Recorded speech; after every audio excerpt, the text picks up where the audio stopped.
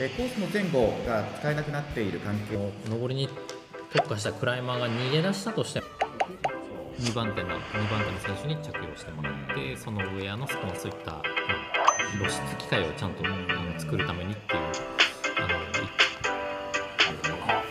出ます。本人優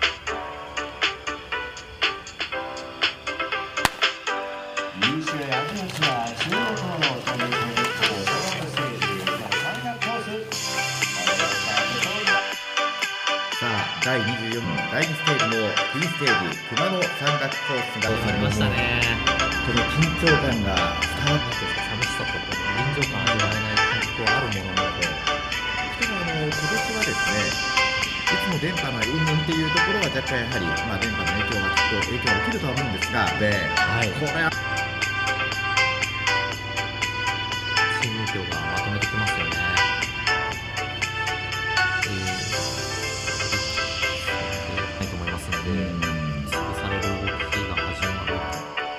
バードリューモレライオンカマナそして山本元気嵐尾雄大どうなって食パンみたいな。こちらが集団ですメイン集団から数秒ほど前にね普通の選手が今見えているという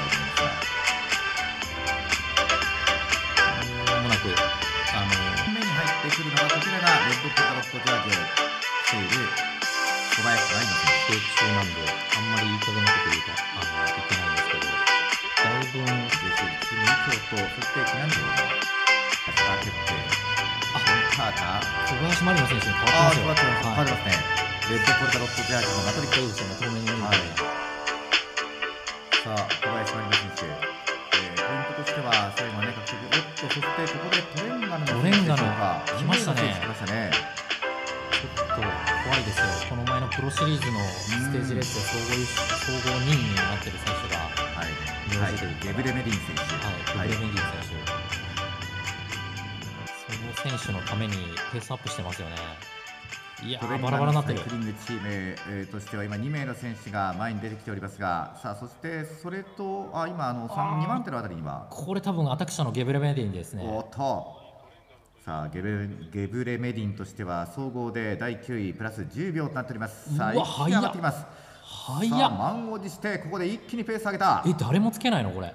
その後ろ、ベンジャー。そのままいっちゃいますか？すんごい。行かせてしまいますねそしてその後ろがこれがマリノですよねおそらく小林麻里乃選手ですそしね。てビクトール広島のベンジャミン・プラデス選手が3番手だと思われますがいやすごい。満を持してここでアタックしてきましためっちゃくちゃ速い、この人。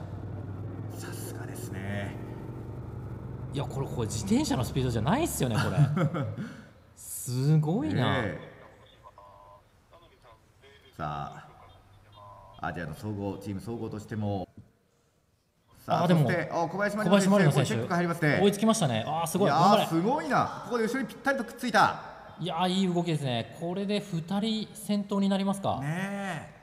ちょっとまあ、ここ前回の、えーゲブレメディン選手に仮にポイントを渡したとしても小林真理乃選手しっかりとポイントをですね大量にここまで取っておりますので。さあジャージとしては、まあ問題なくこの山岳賞ジャージを手堅くしていくとは思うんですがこの後の展開ですよね。そうですね、まあ、昨年で言えばねあの岡敦選手と山本昌輝選手の2人逃げでそのままゴールまで逃げ切っちゃってますかそうらなんですよね。強い2人であの最後ちゃんとこう強調し合えば、うん昨年のようにこの2名が逃げ切るっていう可能性も全然ありえますし、はい。ただ後ろが複数ちょっと見えなかったんですけどどこまさあまずはこの2名の選手後続も少し気にしてはいるようなんですが選手とそして小林真理乃選手この2名の選手がポイントをかけた後ろ見えましたね少し。ちらっと見えましたけどだいぶ開きましたね、さあそしてここからでまたジョインしていくっていうことも考えられるんですがこの2名選手あとはそのこの2名はおそらくもうなんていうんですか躊躇することなくはい。2人で逃げようとするかただちょっと人数が少ないって踏んであのうーん。後ろにもうちょっと追いついてきてもらうことを待つかどうだろうなそんな選択するのかな先ほどは1かなりいい位通過でしたね。はい反しましたね。そしてこれが2番手集団。そして2番手集団24秒差ですね。わあ24秒差。なさあ24秒差そして続いてのようなタイム差が広がっております。よジョインできてたんですよ、うん。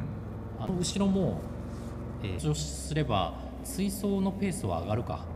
こちらであーちょっと見ておりますね。はいなんで、ま、タイム差はやっぱり広がったあの縮まっておりますかね。うん。さあ私が現在追っているところになります。あーでも違うな。アタック合戦になってるな。協調してローテーションじゃないですね。やってると追いつかないっすよしんどくなってきてるんですよねきっと。うんそういう時ってこういう動きが起こりやすいんですけどなんていうんですかねローテーションして頑張って回せあ一緒に、まあ、あのゲブレメディン選手、えー山本昌樹選手、それからドルドリュー・モレ選手はい。えーあとはベンジャミン・プラデス選手、えーその辺りの登れてる選手たちの集団がこの前にいますよね、うん。今映ってる映像の前に、はい。はい。間にいるはずなので、うんうんうんうんそこが前の2人に追いつくかどうかっていう、はい。そこで言うと、おそらく、うん。あのチームも死ぬ気ではい。追走するという動きを、うん。それで言えば、多分小石選手がやってると思うんですけど、はい。はい。小石選手はもう自分の成績は捨てて。うん。あ動いているところですね。あの前を行くはい。小林麻里乃選手とゲブレメディン選手に追いつくべく追走している可能性はとの間にそういう集団があるんでそこの動きは結構今日これ。あえーこれ南下しきったところのあたりからねまた上ゲブレメディン。いやー強いですね。強いですね。エリトリアのナショナルチャンピオンにもなったことがうん。ある選手で今30歳30歳バのンダの総合優勝も過去にしてたりとか、はい。あー選手なんですね。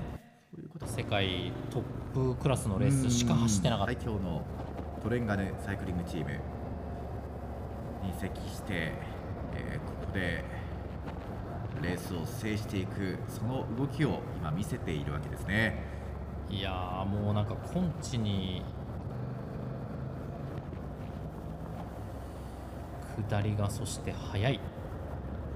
ここの上り区間でちぎれてしまいました。そして下り区間過去にはブエルタ・エスパーニャのステージで2位になったりもしてますし本当にすごい。はいこの大会実績ナンバー。ワン朝楽ですね。さあタイムギャップどうでしょうか？そのゲブレメディン指してから小林麻里乃選手ここは2番手になりましたいやー頑張ってほしい。そして追いついてきましたね。これは宇都宮ブリッツェンじゃないですか。おっとタイムギあャップは。違うか。広島だ。9秒差29秒差ビクトール広島。そしてゲブレメディンが今ここで単独でえー今独走しているわけなんですがそのタイムギャップとしては追走の選手らを含めて29秒差前後となっています。えまだアシスト勢もいて回せばもしかしたら追いつくかもしれないですよこれ。